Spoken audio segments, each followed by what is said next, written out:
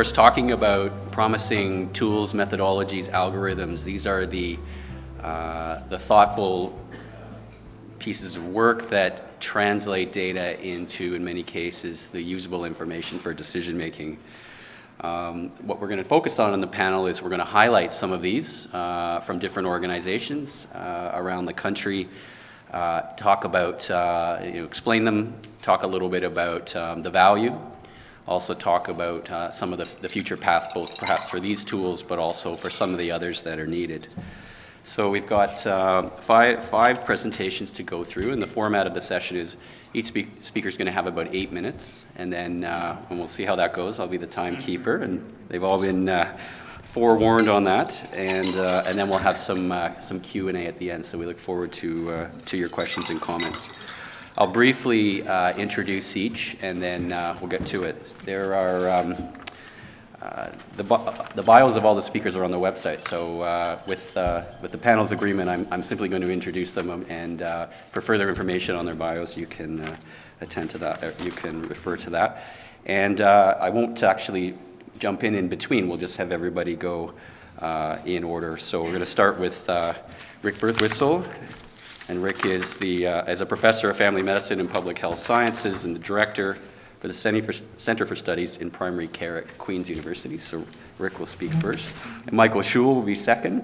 He's president and CEO of the Institute for Clinical Evaluative Sciences. And then we'll have Martha Burd. She's the Director of Health Systems Analysis at the BC Ministry of Health. And then my colleague Douglas Yeo, who's the Director of Methodologies and Specialized Care at CIHI. And Claudia Sanmartin, not last but not least, uh, Assistant Director, Health Analysis Division at Statistics Canada. So I'll just let everyone know too, all the slides are in one file, so we'll just uh, be able to go continuously through those, and we'll start with Rick. Um, I'd like to uh, talk to you today about uh, the Canadian Primary Care Sentinel Surveillance Network uh, that um, we have been in business since about 2008, uh, collecting electronic medical record uh, information from um, uh, patients across the country. Um, and I'll show you, this is a very, um, uh, one slide of, uh, of what uh, CPCSN looks like. We call it, um, we call it CPCSN. We have about a million patients now uh, as part of the database. This is de-identified electronic medical record um, information uh, from about a thousand practices. Um, in uh, eight provinces and one territory. We have um, 11 different uh, practice-based research networks, so we're, uh, we're really a network of networks. Uh, our data probably is more reliable from 2008 um, forward.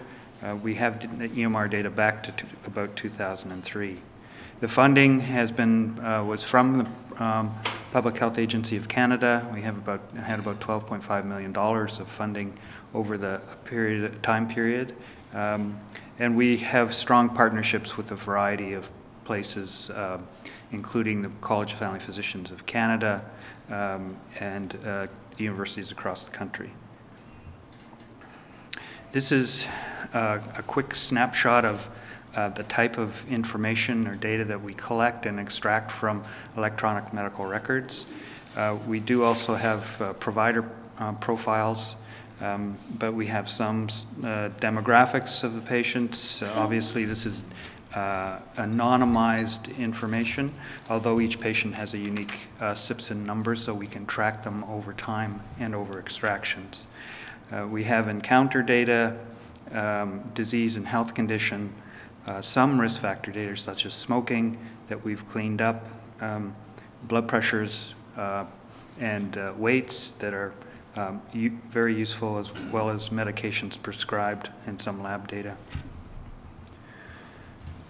Uh, this, these are the chronic diseases in which we've created a valid case definition, uh, and we're obviously working on new, new chronic diseases because this doesn't cover the water waterfront. Uh, but we have uh, a large number of patients in our, our database with each of these chronic conditions. And of course, one of the advantages of electronic medical records is that you can actually look at multimorbidity.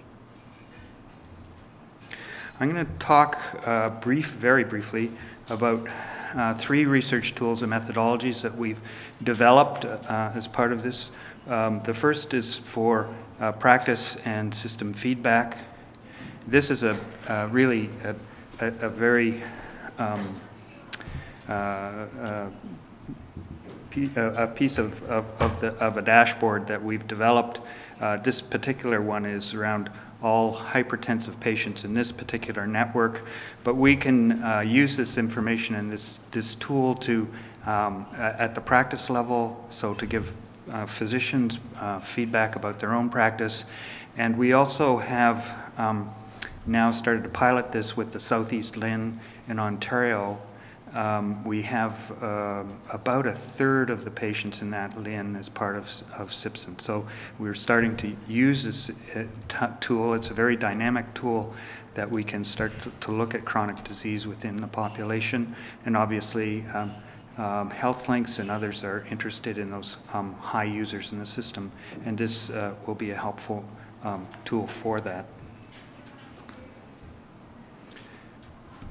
The second um, uh, method and, and, tool we've uh, developed is um, or been involved in is a CI uh, uh, Infoway uh, funded project um, around meaningful use of electronic medical records. These, uh, this particular tool uses SIPSN process data. It was developed by um, Archimedes Indigo, now with Evidera, um, and it's a tool which um, calculates and displays um, cardiovascular risks uh, and cardiovascular risk profiles for patients. Um, uh, it also prioritizes lifestyle rather than rather than medications, although it does look at medication interventions in people in terms of cardiac risk. And this is a patient-specific risk, so this can be used at point of care. Uh, and this is a very small diagram, and I realize you can't, uh, you can't see it, but, uh, and the, uh, whoops, that's not going to work. So the black bar is, is a person's individual risk at the time when you see them. This is all processed data from uh, the SIPSN database um, using this. And as you go uh, to, to the right, it shows what happens um, if you uh, change various lifestyles, add various medications in terms of the patient's cardiovascular risk. So this can be a very uh, good dynamic tool uh, to use at the point of care, um, again, using processed EMR data to, to, um, uh, to back it up. The um, uh, problem was that the company was bought out and they decided they didn't want to actually come to Canada uh, and they stayed in the US. So um, this was a demonstration project, and unfortunately, we're not going to carry on. The third thing I want to talk about is um, uh, linkage, and uh, electronic medical record data is, um, is rich and deep, um, but it's difficult to, to find outcomes and other, uh, other important information. So linking EMR data to uh, uh, other administrative data is very important. And we have done this, um, we've been able to do this in several provinces, including Ontario uh, with ICES. And uh, we've, uh, we have a identifier, um, as I said, a SIPSN identifier that we um, send directly to ICES. And we have a um, uh, the database that goes to ICES in separate packages, so we never actually see the identification of the patient. Patient is identified at ICES, um, which has the ability to do that, and then we can um, link to a variety of databases uh, that are sitting there. So that is actually, uh, for us, uh, a really important um, step. Um, we're, I think we're way behind other people, particularly in Europe, in doing this, but um, we've done a small demonstration with diabetes. The linkage works well, um, and it'll be, um, I think, a, a really valuable um, uh, future tool for studying uh, chronic disease. Thanks.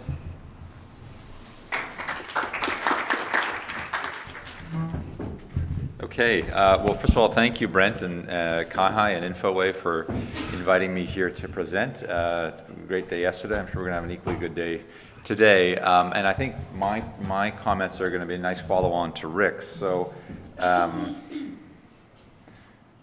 okay, so um, we were asked to sort of talk about uh, tools or algorithms or methodologies, basically something that's kind of nice and shiny and interesting to talk about in terms of how uh, we're helping to transform uh, data into usable information for the healthcare system. So um, as most of you will know, um, ICES is, a, is a, an institute that has a whole uh, wide range of data uh, that are available uh, that we uh, link routinely and use for both health system improvement and, and research purposes.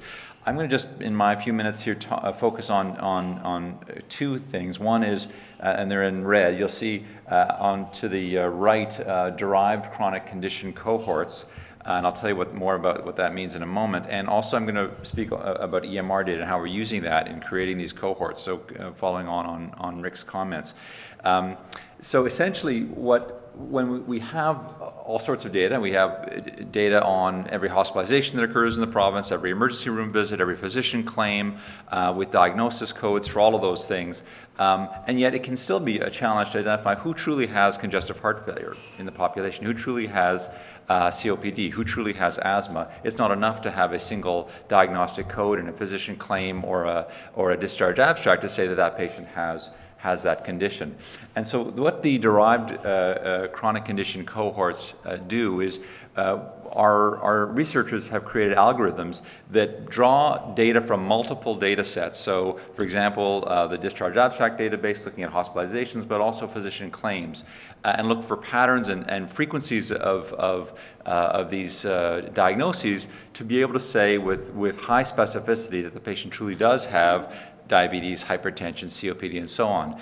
Once you've done that and validated those algorithms, and, and traditionally the way we did that was to actually go out and, and pull charts, primary care charts uh, or hospital charts, uh, and actually have trained abstractors go through and validate that yes, indeed, these patients have that condition. Um, what we're now able to do uh, with, by, by, virtue of having EMR data in-house, primary care uh, EMR data, SIPSN being one example, we have another data set called EMRALD, is that we now can validate those algorithms by comparing them to electronic medical record data. So rather than having to go physically and abstract them, we can validate them with respect to EMR data. So these are uh, very powerful tools. Um, this is just a screenshot from our data dictionary showing you the range of conditions for which we have validated algorithms, and this is growing all the time. Uh, but we now know at a population level who has asthma, who has CHF, who has COPD, and so on, hypertension, uh, uh, diabetes, uh, who's had an MI, rheumatoid arthritis, and so on. Um, the power of this is that it truly is at a population level we know within the, we have data on the entire population of Ontario going back many years, and we can, ident- we can understand who has these conditions, who has multiple conditions, who has not only diabetes, but also asthma and COPD, uh, and what is their uh, uh, course through, the, uh, through their lifespan in terms of healthcare utilization and, and outcomes. Um, this has been incredibly powerful for, from a research perspective. Obviously, it's used um, intensively by our, by our scientists. But I think for the purposes of this conference, I, I would focus more on some of the very practical applications of this data. So, for example, we are partnered with Health Quality Ontario and produce primary care practice reports for physicians who have, uh, who have uh, requested uh, to receive these practice reports. And one of the tables that we provide as part of these uh, will tell physicians who, uh, how the proportion of patients in their practice who have these conditions based on these derived uh, cohorts and how that compares to other physicians uh, uh, across their LHIN and across Ontario. Similarly, we can tell them among patients who have, for example, diabetes, how are, the, how are they doing in their practice with respect to uh, evidence-based quality measures like hemoglobin A1C testing or cholesterol testing? So this is combining multiple data sets uh, uh, and, and these derived cohorts to provide practitioners with really practical information about what's going on within their practice. And you may be surprised to know that this is not data they can routinely gather from their own EMRs. Uh, EMRs are great at some things, but they're certainly not good, uh, in Ontario anyway, at providing this kind of, this kind of granular information to practitioners. The latest uh, derived disease cohort that we've created is on dementia. Um, and so this just shows you the actual algorithm that, that uh, was developed and that we've uh, validated. And again, this was validated by comparing it with um, uh, detailed information in electronic medical records that we have within ICES. This is going to be, this has just been published by some of our scientists, um, the validation. Um, and this is also very useful for health system uh, uh, planners. So we're working with the Alzheimer's Society of Ontario as well as with the Ministry of Health and have produced uh, recently, very recently in fact, a number of reports for them on, uh, on, on patients with dementia, on what happens with them in the, in the community in terms of healthcare utilization and outcomes. So just again, one example of one table from one of these reports, we produced, uh, we, we, developed a cohort of patients with newly diagnosed dementia, diagnosed between uh, in 2007, 2008. And these are all community dwelling individuals with dementia. And then we followed them forward in time uh, over about six years and looked at how their trajectory changes over those six years uh, living in the community. What are, in this case, we're looking at their rate of personal uh, homemaking home care services as compared with a, with a control cohort of individuals who do not have dementia, who are also community dwelling. And you can see how that level of use of home care services increase. You can also identify when these patients uh, enter into long-term care or die, uh, with the idea being that how can we delay their entry into long-term care? What is the necessity uh, for provision of, of, community services, home care services, in order that these individuals, the entry into long-term care may be delayed? That obviously is much more expensive and for most patients not really a desirable outcome. So again, these sorts of derived cohorts can provide very uh, useful intelligence to the, to the health system and health system decision makers about how various components of the health system work together to influence outcomes for patients with dementia. Um, just a, a, quick comment about another, uh, so Rick talked about the SIPSN uh, EMR data. Uh, the, the, other uh, system that we have is called EMRALD, uh, similar to Rick's. Uh, there are about now about 400 family physicians who provide this data to, to ICES, and we've linked that data to our administrative records on about 500,000 patients. And very similar, I just wanted to uh, give a, just demonstrate that we're using this data not only to do things like validate uh, um, uh, administrative data for disease-specific cohorts, but also feeding information directly back to primary care practitioners in a, in a way very analogous to what Rick uh, showed.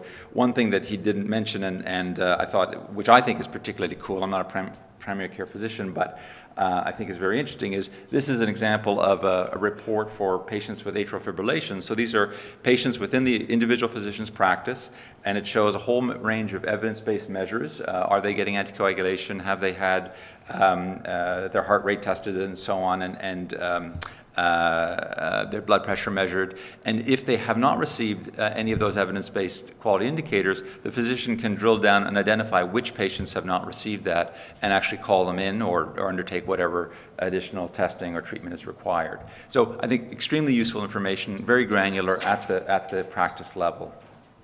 I'm going to stop there, and I guess we'll take questions at the end. Thank you. Thank you. So this, I think this will fit in very well with these very specific clinical front end pieces. I'm coming from the Ministry of Health. It's a, it's a higher level. Uh, to put it in context, I'd like to see this pyramid of information where if you start at the very bottom, you have all the granular databases as we collect our administrative data. And it has all of the detail, but it also has some of the challenges of being able to analyze the data, separate databases, separate definitions, all of those aspects. The second layer up, the yellow, are the SMART tables. I love this acronym. I created it.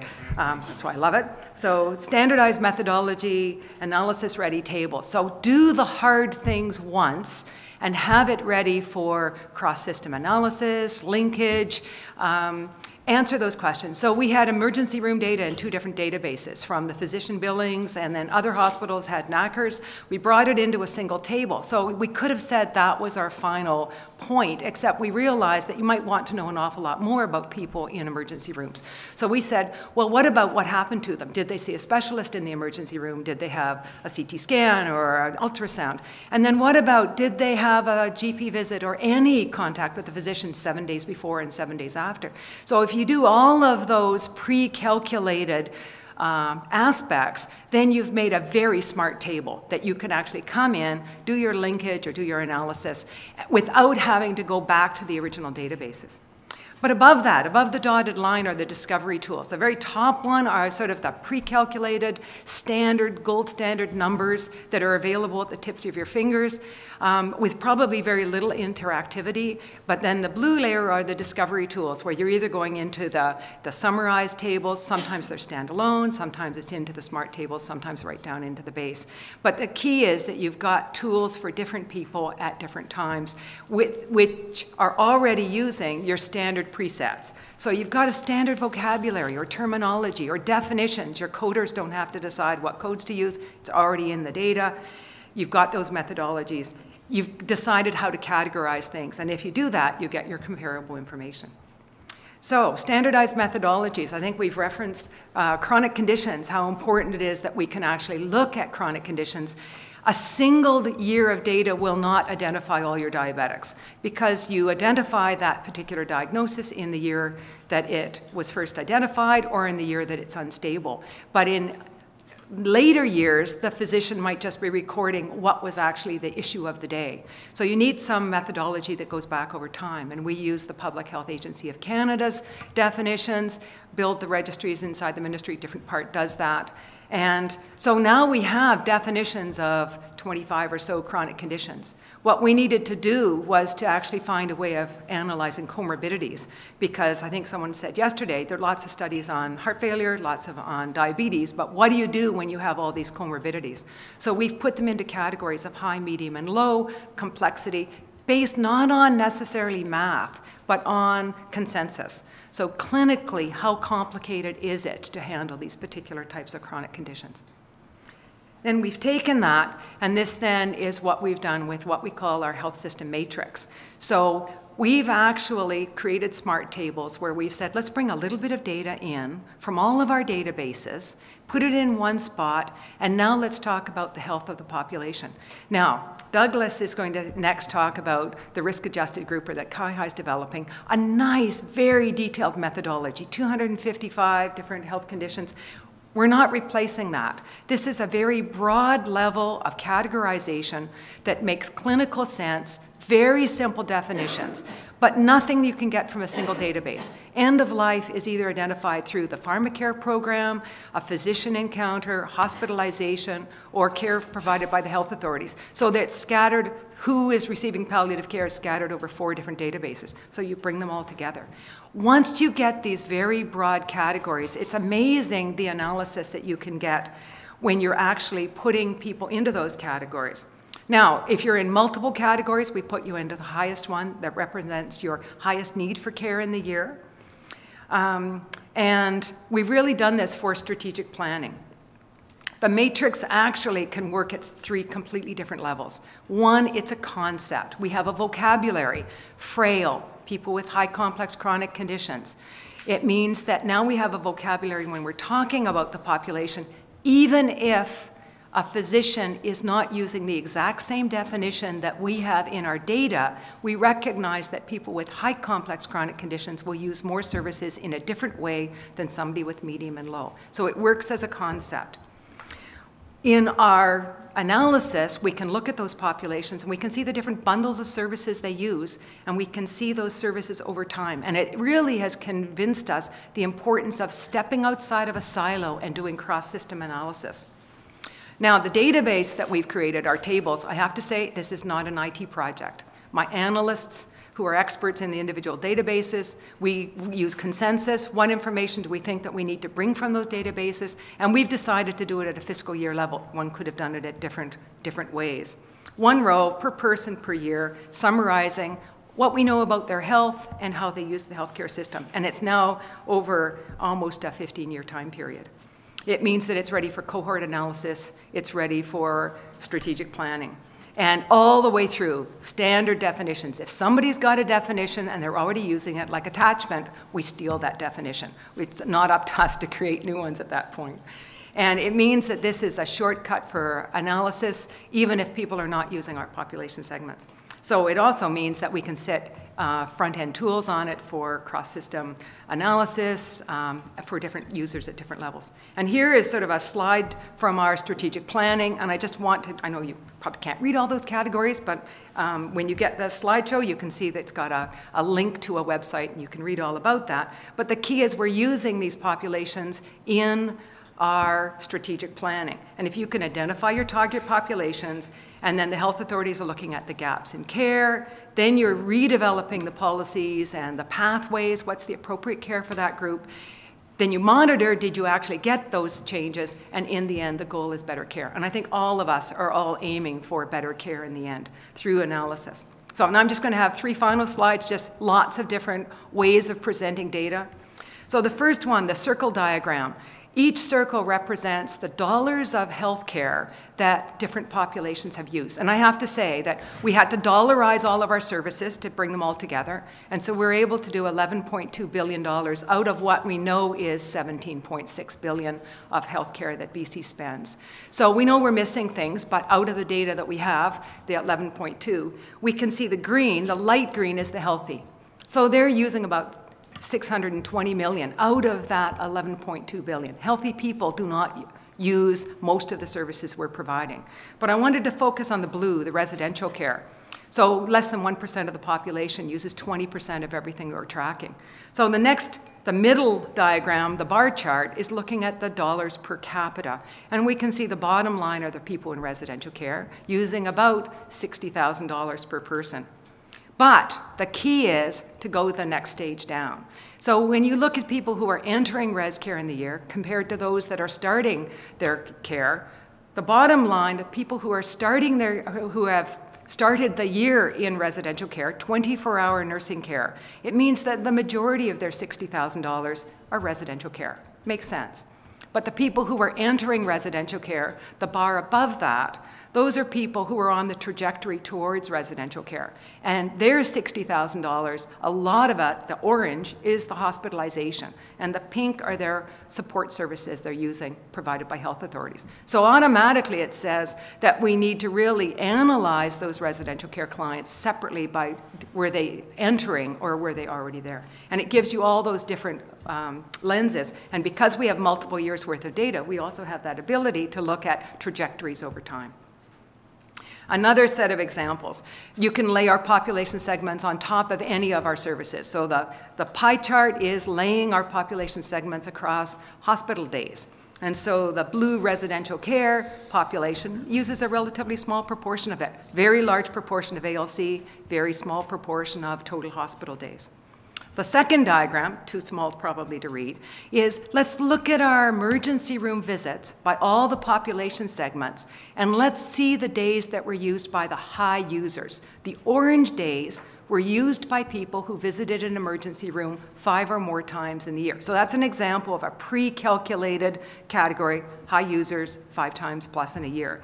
And it says that the end-of-life populations, uh, would, where the normal population, 20% of all of our days are used by high users. In the end-of-life population, 50% of their emergency room days are from those high users. And the, you see the end-of-life, lots of emergency room interventions, high use per person. And it makes you think about the trajectory they're on, and could we have done a different way of interaction, interacting with those individuals to give them better care. The bottom diagram is diabetics. So we have diabetics. Bottom uh, horizontal axis is how many times did they get hospitalized in the year, and the vertical axis is how many days of care did they have in the year. And the big brown dot in the center is if you just used an average, you would say that those diabetics, uh, can't read my 20% of them would have got hospitalized, and I think they would have should have put on my glasses. Well, you can see they had that much care. Right in the middle. But what's important is if you laid on the population segments, you'd realize those diabetics are not the same. Put them in the right population segments, and they're using a wide variety of uh, hospitals a different way because diabetes was one of their conditions. It was not perhaps the only condition they had. And so the last one is interactive tools. So we do a lot of things. At the beginning, uh, you could just have your Excel on steroids. Lots. So we have like our hospital workload tool, lots of pivot tables in the background, I think 50 or 60 pivot tables. But when you open it up, you get a nice front sheet, choose your hospital, and it tells you all sorts of things about the hospital using those predetermined categorizations that you thought, thought were really useful. And then when you're using other visual tools, depending on what you're looking at, there are lots of different ways that you can actually have an interactive tool, whether it's mapping, whether it's you know comparing to a, a provincial average, where you can actually have data available, not pre-done.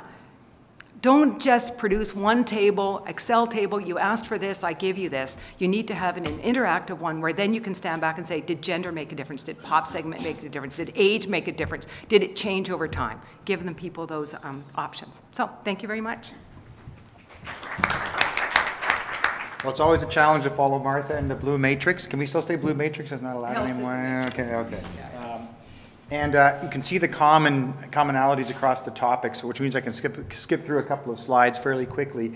And uh, a lot of cross-fertilization as well, as we're building this population grouping methodology at CIHI. Martha's on our expert group, someone from ICES is on the expert group.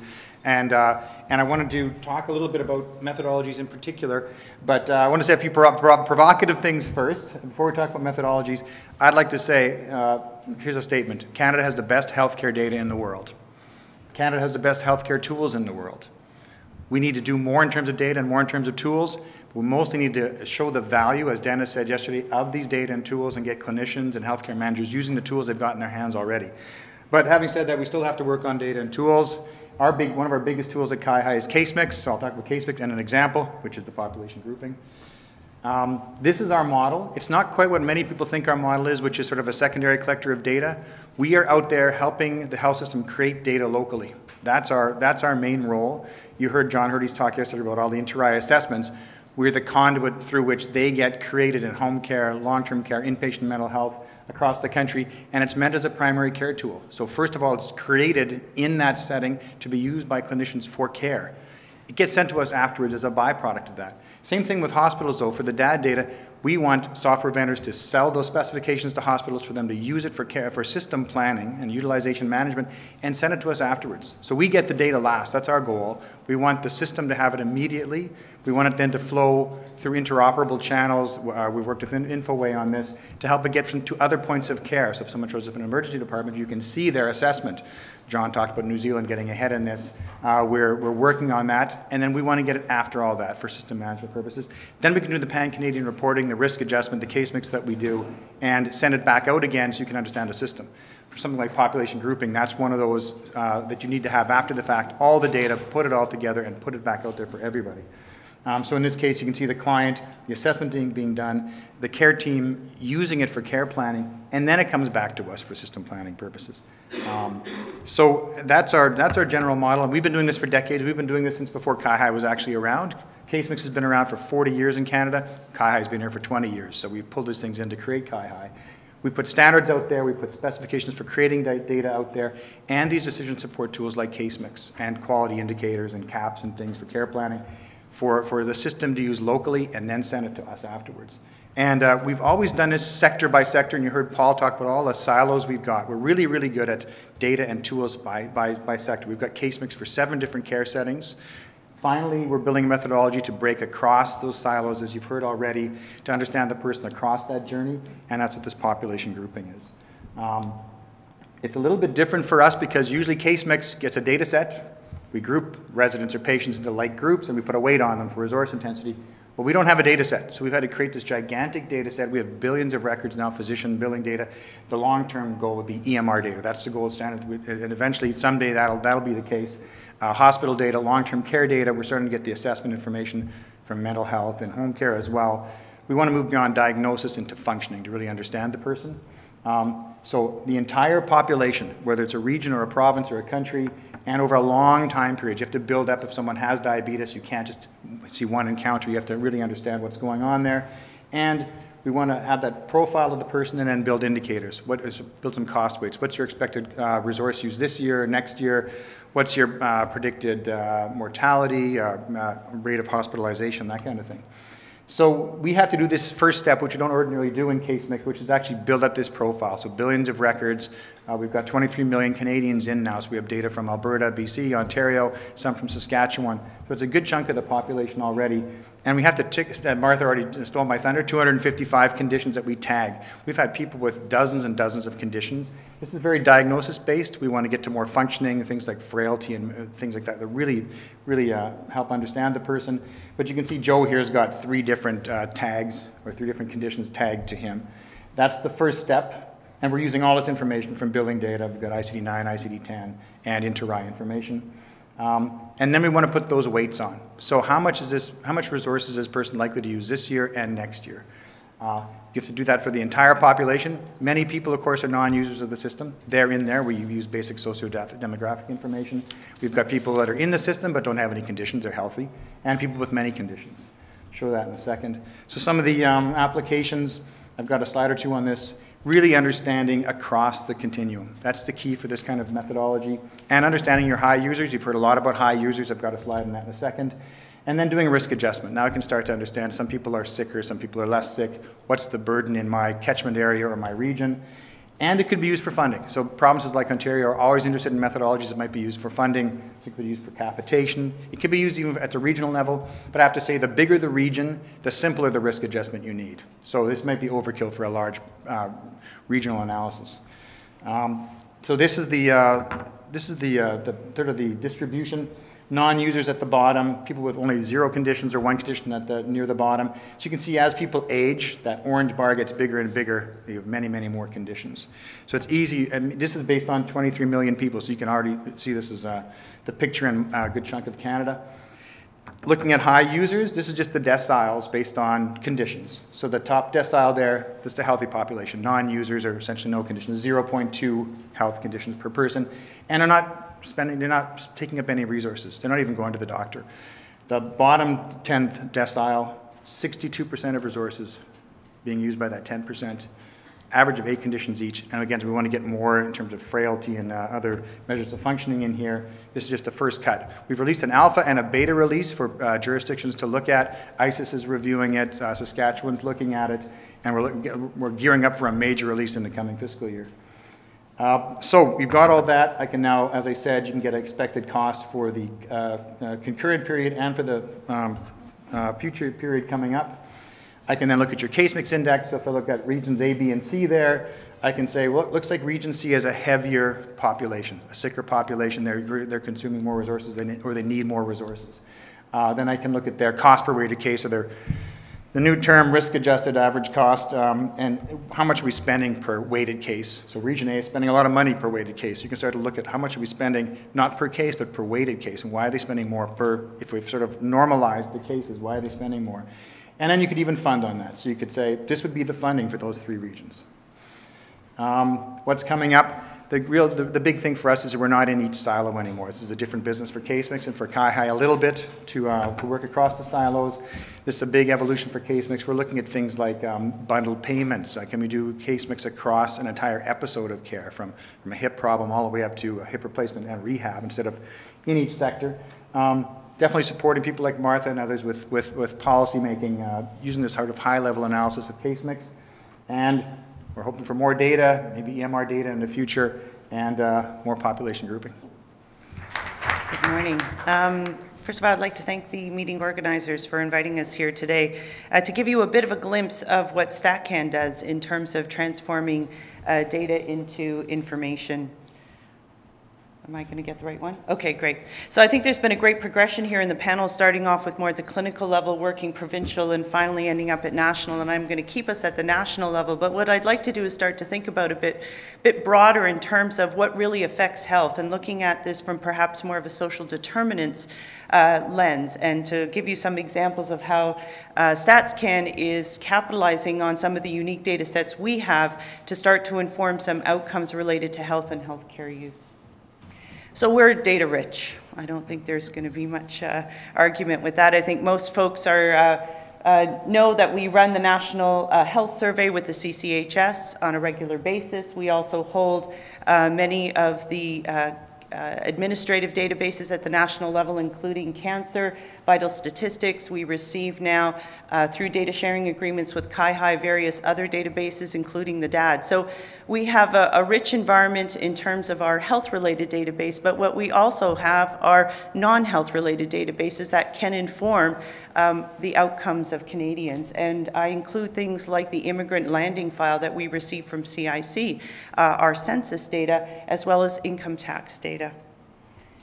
And so what I'd like to describe today is as opposed to any single tool, the process through which we use a series of tools to integrate this information through record linkage primarily to do research and analysis, which we think in the end is an important output and an information source, but also then how we use that information uh, in some of our more sophisticated tools, which are our microsimulation models, to integrate this information. So here's the challenge. How do you explain microsimulation in five minutes? Think about it as predictive analytics on steroids. So it's the, a tool that allows us to integrate not just predictive algorithms, but other sources of information, apply those at the individual level to a population, i.e. Canada. We age people over time, and their real purpose is to look to the future.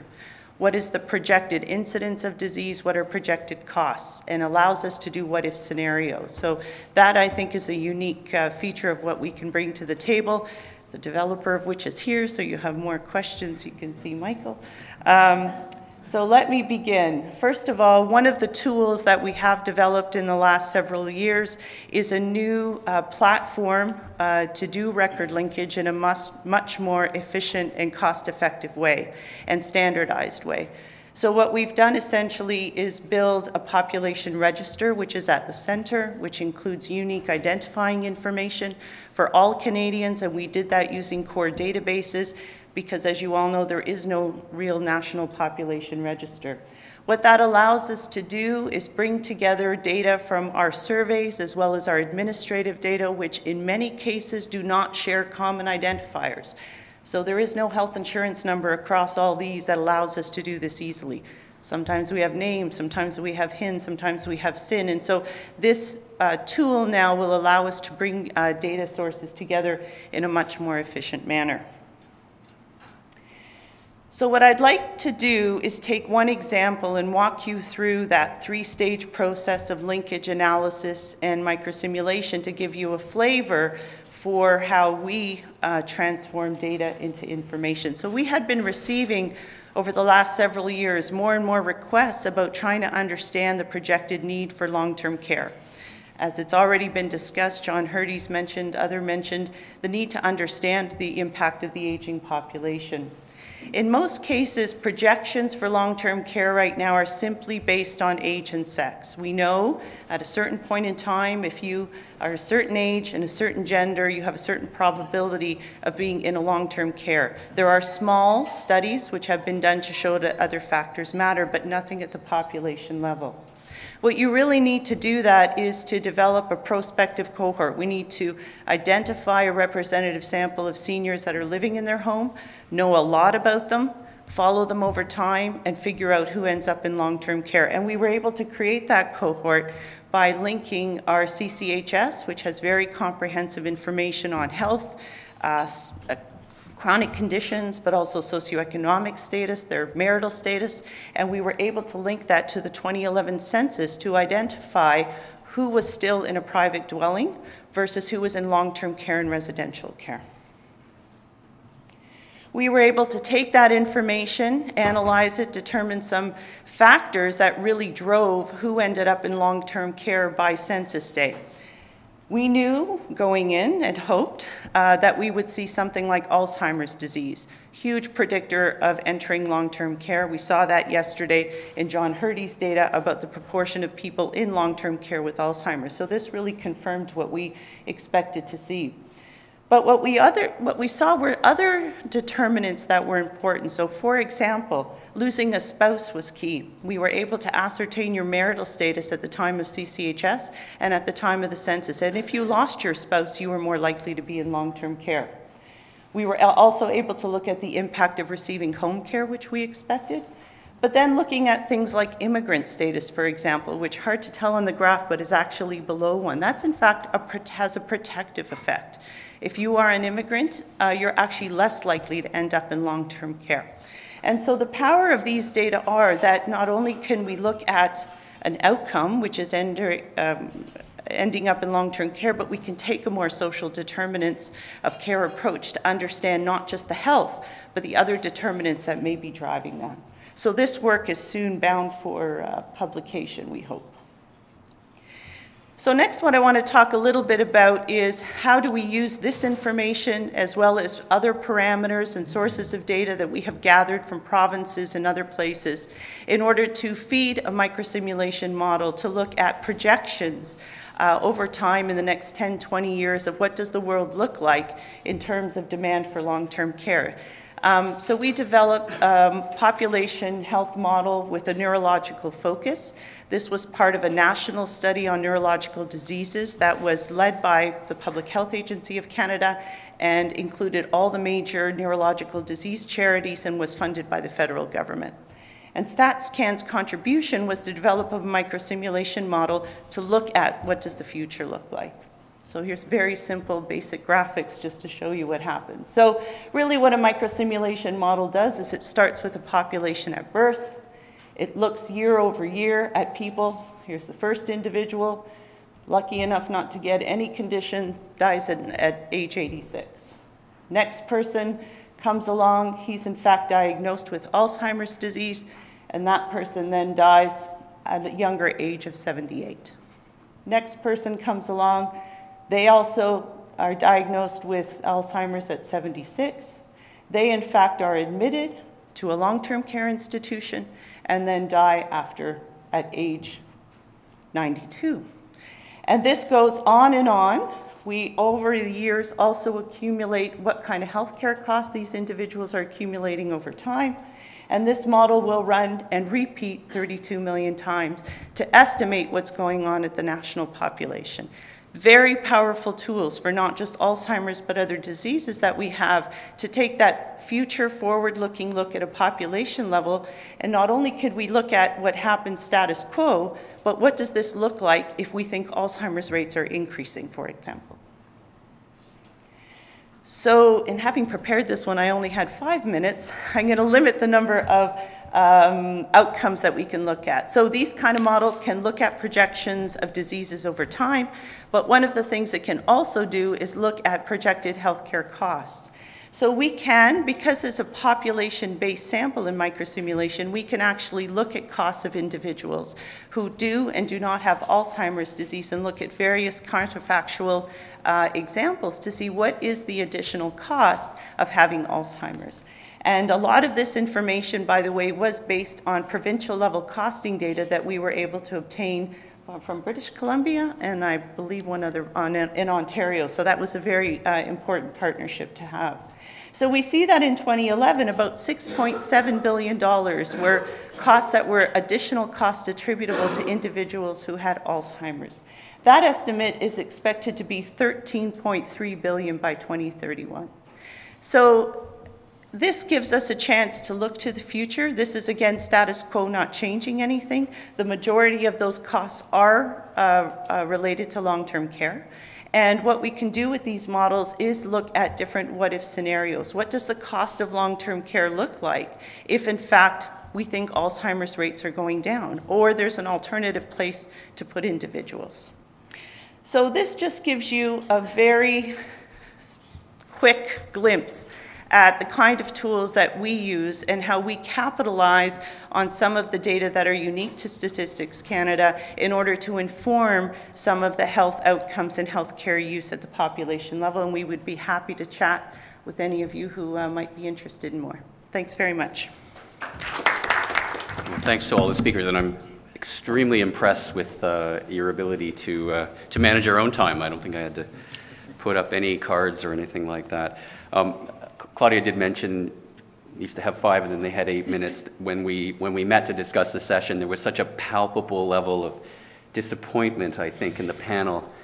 At five minutes, we decided to make it eight and, and have a shorter question period. And I hope you agree that, I'll get to the questions, I hope you'll agree that uh, um, those extra three minutes were worth, worth time. These are some very uh, incredible projects, uh, some really passionate uh, individuals leading and working on them, and uh, a great tour from from sort of the, the sort of clinical patient level all the way to the population level. So we have uh, time for a few questions, and there's going to be lots, so I don't know, I'll start uh, in the back and we'll work our way across.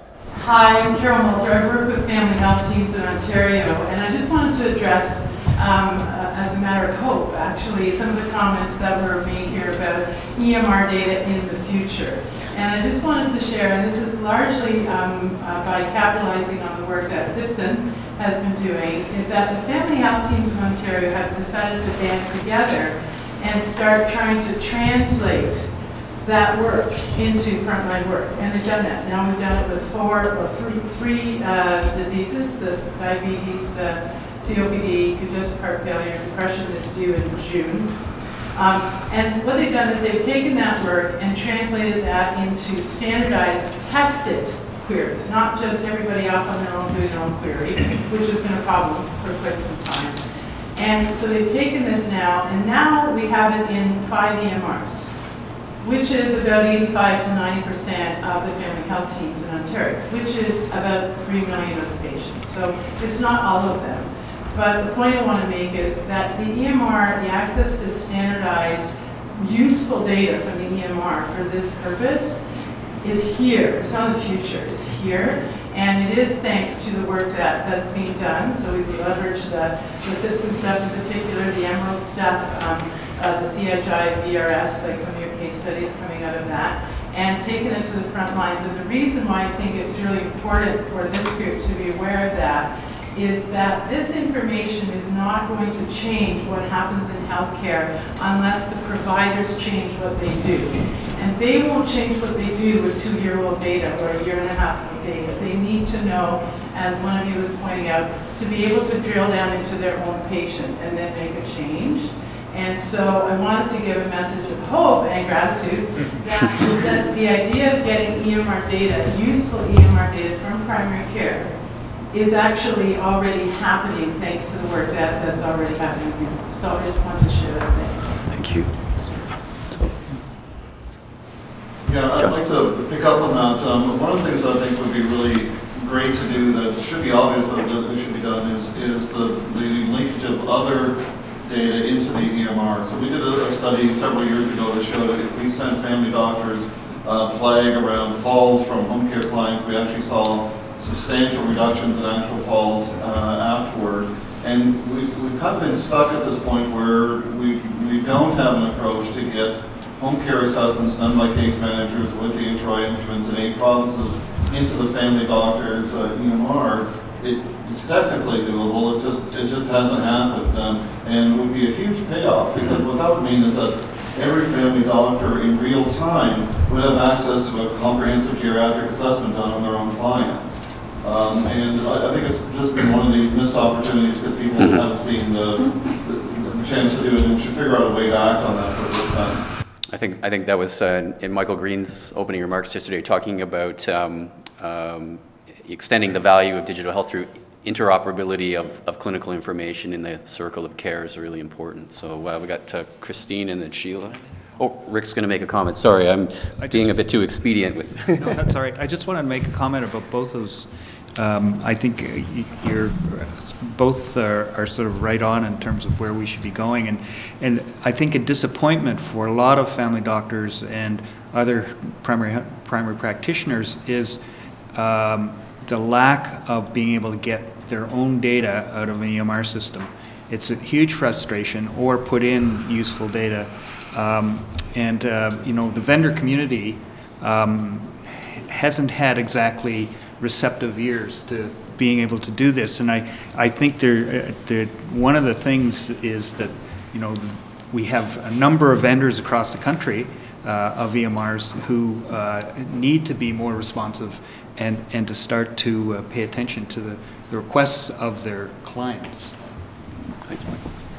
Just to pick up on, on that, I think there, there's the ability of the, the EMR system itself to produce useful information for the family physician. There's also the challenge of actually um, uh, abstracting the information from the EMR to, to do the kind of linkage that John is referring to, um, or if you want to look not just at your own practice, but to compare across practices or look at longer term outcomes of uh, information that's not available in your EMR. I think there's this is a challenge currently, is- is certainly in terms of having real time updates of EMR. Uh, we're still stuck at having periodic updates. This is an area I think where Infoway, for example, could play a huge role in terms of there are tools out there. There's certainly the technologies out there, but I think creating the opportunity to really leverage that at a population level is an area where I would see a huge opportunity for for Infoway to to leverage existing investments that have been made uh, in EMRs across the country. Thanks. Christine? Just follow up on the same flavor here, and I guess it goes to the concept of push reports versus pull reports. And in the ideal world, we would just pull the information you need out of your EMR and have it available to action. Um, That being said, we know there's complications with that, and obviously the panelists have made great strides in providing information so people can action it. I want to get to the specifics about EMR data and that actionability, and uh, the people, and maybe it's more specific to ICES and and the people who are participating, are they the people who are more apt to make change in their practice? Are they seeing the noticeable improvements in their population health within their practice? Is this measurable? Are we keeping people out of the acute care system by having them properly treated in primary care? Um, Or do you have a cohort of people within your population that are participating that perhaps are just not paying attention to the reports or not actioning it as they come in? Are you following those kind of metrics around the data? I think those are all really good questions, um, of which I have very few answers at the moment. Uh, I guess what I would say is, in, in, in, for primary care practitioners, uh, the currency of, of their work is still one patient at a time. And the idea that I, I'm responsible for a population uh, And I, I can now look at data around that population and start to make some changes in my practice that may improve the care and, uh, of individual patients um, is really recent. And I think you're right. I think a lot of the people who, uh, the physicians who have joined uh, uh, are, are, are thinking that way, um, but there are a lot of people who aren't yet. Pick up on, I mean, I think that's a great point, and I think one of the challenges here is we tend to think about primary care as patients who are seeing primary care physicians. A lot of patients who aren't seeing primary care physicians who need to see primary care physicians, and if we're going to make that switch, you, you clearly need data that goes beyond what's in your, your EMR, because there are patients who aren't even coming to you, and to have that population lens requires population level data.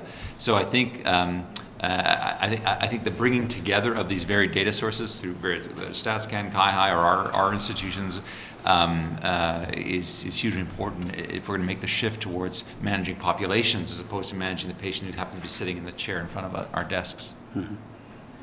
So I think Sheila, Just a, a real carry on from Christine's question. So with the EMRALD and the SIPSN databases, do they, um, how do you find the physicians? I'm assuming it's voluntary. Do you pay them? How many are there? What's the incentive for them? Um, how, you know, if you approach 10, how many will come on? So you can talk about the recruitment process a little. I, I'll just briefly say, I mean, so Karen Tu, uh, Liisa Jaakkimainen, and Rick Glazier are the physicians at ICES who've been leading the development of EMRALD. Um, it, it's very much, it's a, this is a on-the-ground game. This is going to primary care conferences and telling family doctors about this great system called EMRALD, and wouldn't you like to participate? It's all voluntary, nobody's being paid. Uh, the, the, the, the quid pro quo, I think, is feedback of information. And I think, I think that, you know, you, clearly the re- representa- representativity of those family doctors with respect to all family doctors, hard to say, hard to say. I'm sure this is, these are early adopters. Uh, and I guess it's up to us to demonstrate value. I guess just to add to that, uh, we, we, um, at, when we started, we, we paid physicians to, uh, to cover administrative costs, uh, uh, as, to join SIPSN. Um, uh, we don't have to do that anymore. People are lining up, wanting to join, uh, because they are starting to get their data back that is, is useful. Um, and the, so we have a variety of incentives. I think the data is, is the major incentive, but also uh, physicians can get CME credits for um, looking at their data, reflecting on it, and then they fill out a form for the college. And that is a, a a growing sort of incentive for them to participate. Can I make one other comment? It's just, uh, speaking about the, the payment issue, this is expensive work to gather this data. EMRALD is funded as a research project, so it goes from research grant to research grant. SIPSN similarly is on funding from various agencies. This is not seen as data infrastructure in the same way that the DAD is or that uh, NACRS is and so on. I think that's a real weakness. Uh, we, we need to see this as this is routine data like any of those other data sets. We need to fund it in that way. We need to leverage it in that way. Um, and uh, you know, until we get there, uh, we're not going to be doing it. We, certainly, governments are funding the, the, the implementation of EMRs at the patient at the practice level, but then the data sits at the practice level, uh, and that's I think a real uh, weakness at this point. Time for two more questions. So Michael and then Paul. So go ahead, Michael. Sorry, Robin. I'll try to be quick. After. First, the squawk. I sat on the Federal Provincial Territorial Committee in 92 that uh, gave birth to InfoWay. And one of the key objectives of InfoWay, or whatever it was going to be, was interoperability. So when I hear you, Richard, say, wouldn't it be nice if the vendors paid more attention? 20 years ago, they were supposed to be interoperable. Uh, two questions. One, on the Archimedes business, I was just quickly looking here. Doug Manuel did a, uh, and company did a study showing that immigrant status mattered for cardiovascular disease risk. Archimedes is a black box, so even if you got it, are you comfortable using a black box risk prediction algorithm? And second question to, to Martha, you know, this is really neat stuff and all that. What happens when somebody says, gee, this is really neat, I'd like to explore more deeply the pattern? Is there a feedback loop where you actually go down to the bottom layer of the and do more uh, exploratory data analysis, for example? I, I can go first. Um, uh, I think you make a, a really good point. Uh, because um, they decided not to come to Canada, we did not do any further exploration of that black box. But you're absolutely right. I think that uh, looking inside and seeing what the elements are uh, uh, would be uh, really important uh, as, in terms of comfort with with using it at the practice level. So thank you, Michael, for saying that you thought it was an interesting project. Um, We can do a lot of things with, doesn't say that lot of stuff. that's great. It's, it's been blessed. I'll take it to heart, yes. Um, I think. I'm looking out at some of my health authority colleagues, and I think one of our biggest challenges is actually to have the health authorities being able to access the same data, because we have, like, physician data, they don't have that, they've got data that we don't have. And I think what we really need to do is be able to, to share that. So once we get over that hurdle, I think there'll be an awful lot more. Meanwhile, in the ministry, yes, we can do this broad level analysis at those smart table levels, but the data is such wealth you know, from either a ministry or a research or health authority perspective, to be able to do that longitudinal or deep dive. I think that the neat part is that it's now being thought of as we need to do cross-system analysis, and we need to do cross-time analysis, rather than the silos that we had not that long ago. I think Claudia, you want to jump in on this?